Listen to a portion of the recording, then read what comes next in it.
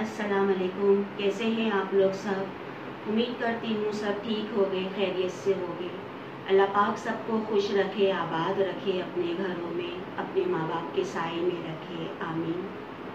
आज की रेसिपी है कोकनी रेसिपी है। गेहूँ की खीर बना रही हूँ कोकनी गेहूँ की खीर, जिसकी रेसिपी मैं आपको दे रही हूँ। तो आए, मैं उसमें क्या क्या डालूँगी तो मैं आपको बताती ये आधा किलो गेहूँ है जो मैंने भिगा के चार घंटे पहले ही रख दिया था। ये देखिए, ये ऐसी नरम हो गई है। आप इसको भिगा के चार घंटे पहले ही रख दें या दो घंटे पहले ही रख दें। आधा किलो गेहूँ है जो हलीम की गेहूँ होती है, वो है ये। तो इस तरह से हमने इसको भिगा दिया था। ये मैंने इसका पानी फेंक दिया है। ये एक नारियल है। एक नारियल है पूरा।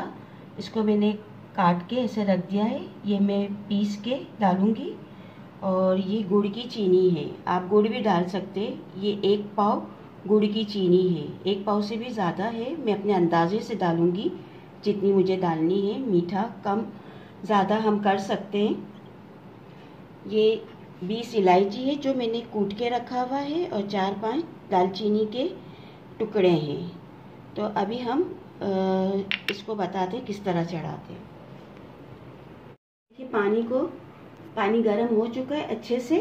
अब मैं इसमें ये गेहूँ डाल के पकने रख दूँगी। कम से कम हमें ये दो घंटा पकाना है और बीच में आके हमें चम्मच चलाते रहना है बार बार इसे देखना है। जब ये अच्छे से पल, पक जाएगी, घुल जाएगी तो हम इसे, इसमें सारी चीज़ें डालेंगे। वो मैं आपको बाद में बताऊँगी किस तरह से डालना है। जब तक ये गेहूँ पकती है।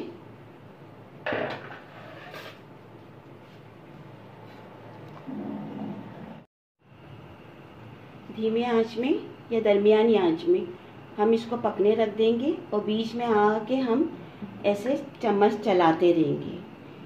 ये कम से कम दो घंटे तो लेंगी लेंगी ये गेहूँ पकने के लिए। हो सकता है जल्दी भी पक जाए तो मैं आपको बता दूँगी कि ये कितनी देर में गेहूँ घुल गई है। जब ये एकदम घुल जाएगी तो बिल्कुल खीर नुमा बन जाएगी।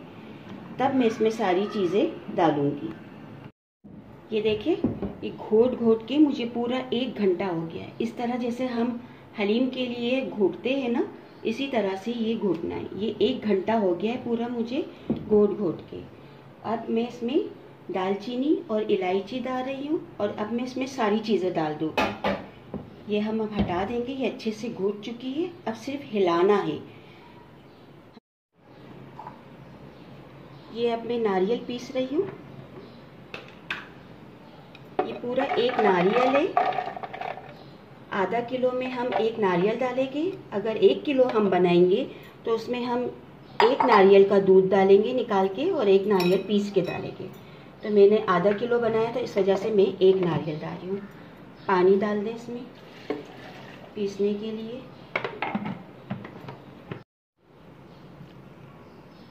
ये देखिए, ये इतना हम बारीक पीसेंगे। ये पीस के हम देखिए आप लोग किस तरह से ये बारीक हो गया है। इतना हम डालेंगे।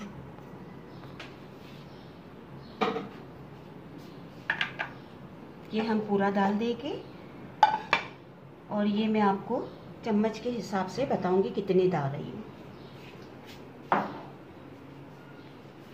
ये नारियल हमने पूरा डाल दिया।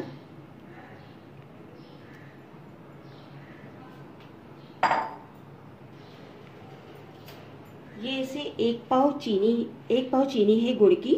आप लोग गुड़ लेके भी शीरा बना के डाल सकते हैं इसमें। मैं चीनी इस्तेमाल कर रही हूँ तो मैं एक पाव से थोड़ी बचा दी है। अगर मुझे लगेगा कि चीनी कम है जैसे मीठा कम है तो फिर मैं और मज़ीद इसमें डाल दूँगी। मीठा आप लोग अपने टेस्ट के हिसाब से डालें, जितना आप लोगों को चाहिए। और इसमें नमक भी डलेगा। क्योंकि मेरी दादी हमेशा मीठे में नमक डालती थी कि नमक से टेस्ट आता है थोड़ा। तो हम कोकनी खीर जब बनाते हैं, कोकनी कोई भी चीज़ बनाते हैं तो इसमें थोड़ा नमक ज़रूर डालते हैं। मामूली सा सिर्फ़ टेस्ट आने के लिए। अब हम इसे मुसलसल हिलाते रहेंगे। कम से कम आधा घंटा हमें इसे और पकाना है। इतना पकाना है कि इलायची की खुशबू, दालचीनी की खुशबू इसमें आ जाए और ये बहुत मज़े की गाढ़ी सी हो जाए। देखिए, ये कितनी अच्छी सी घुट चुकी है, मगर और मज़ीद हम इसे पकाएँगे। आधा घंटा और पकाना है इसे। ये देखिए ये इस कदर ये पक चुकी है। मैंने आधे घंटे से भी ज़्यादा इसे पकाई है। कम से कम डेढ़ घंटा मुझे लगा इसे पकाने में। और ये अभी पक चुकी है। ये इतनी गाढ़ी हो चुकी है। देखिए ये कैसे पक रही है। ये इस तरह से ये गाढ़ी हो चुकी है। देखिए कैसे इसमें बुलबुले से आ रहे। ये अब पक चुकी है। अब मैं इसे बंद कर रही हूँ। और इसमें मैंने आपको बताया था, नमक बाद में डाला था। इसमें मैंने। और अच्छे से पकाइए, देखिए किस कदर ये देखिए, इसका दाना पूरा पक चुका है, पूरी खीर क्या तैयार हो चुकी है। ऐसी खीर तैयार होनी चाहिए, ऐसे। ये देखें, ये ऐसे तैयार होनी चाहिए खीर तो ये बहुत मज़े की लगेगी। ये देखिए मैंने तैयार कर लिया है, हो चुकी है। अब मैं इसे डिश में निकाल दूँगी, क्योंकि बहुत गर्म है। तो थोड़ी ठंडी होने के बाद मैं इसे डिश में निकाल दूँगी। फिर मैं आप लोगों को दिखाऊँगी कि ये कैसी लगेगी मैंने डिश में निकाल दिया है। इस तरह से ये ठंडी हो जाएगी, तभी आप लोग खाइएगा। बहुत मज़े की लगेगी। और देखिए, मैंने इतने ये बचा दिया था। मेरे हिसाब से तो बिल्कुल मीठा सही था। आप लोगों को अगर ज़्यादा चाहिए होगा तो आप लोग एक पाव पूरा डाल देना। गुड़ पूरा डाल देना, शीरा बना के भी अगर आप लोग रखेंगे तो आप लोग अपने अंदाजे से पहले शीरा डालिएगा। और अगर आप लोगों को लगे तो फिर और मज़ीद डाल दीजिएगा, शीरा बनाएँगे तो आप साबित गुड़ का। मैंने चीनी लिया था, ये गुड़ की चीनी है, ये भी मिल जाती है मार्केट में। तो इस तरह से अगर आपको मिल गई तो आप लोग भी ना यूज़ कर दीजिए। और ये बहुत मज़े की कोकनी खीर, ये आप लोग ज़रूर बनाइए। हम आम सी खीर तो बनाते ही खाते ही है। और इस तरह से भी हम खीर बना के आप लोग देखिएगा कि ना बहुत मज़े की लगती है ये खीर।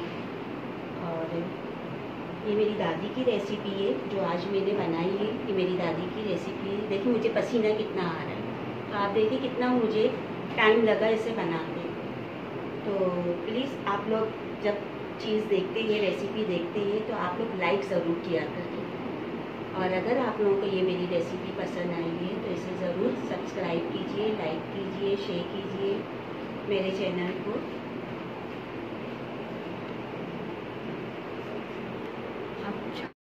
इसके साथ ही इजाज़त चाहती हूँ।